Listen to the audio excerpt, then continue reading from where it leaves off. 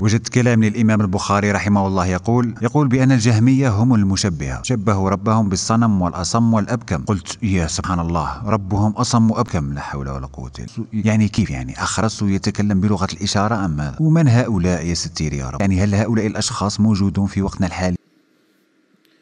ولذلك الله سبحانه وتعالى كلم موسى بأن أوصل في قلبه المعنى.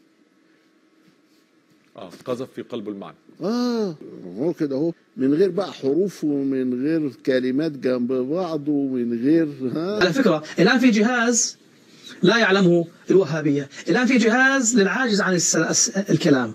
يحول الدماغ يعطي إشارات وهذا يترجمها إلى ألفاظ.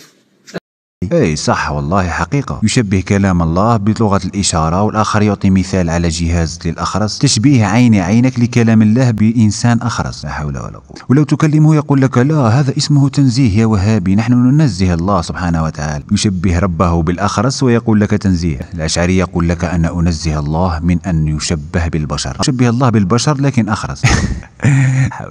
المهم اختصار عقيدة الأشاعرة هو أن كلام الله إلقاء للمعنى في قلب المخلوق. سواء جبريل عليه السلام أو نبي مثل موسى عليه السلام. ونحن هنا نقول لهم ما دام الموضوع هو إلقاء أو قذف للمعنى فقد قال تعالى كافها يا عين صاد ألف لام ميم ألف لام راء. فإن لم يعطينا الأشعري معنى لهذه الحروف المقطعة لزم أنه ابتدع. وإن أعطانا الأشعري معنى لهذه الحروف فقد ابتدع أيضا. وأيضا لا يحق للأشعري أن يقول قال تعالى. بل عليه أن يقول ما أوصله الله تعالى أو ما قذفه الله تعالى في نفس جبريل. فإذا قال الأشعري. قال تعالى لزمه أن القرآن كلام الله حرفا وصوتا وإذا لم يقر بأنه كلام الله حرفا وصوتا فلا يجوز له أن يقول مع المسلمين. قال تعالى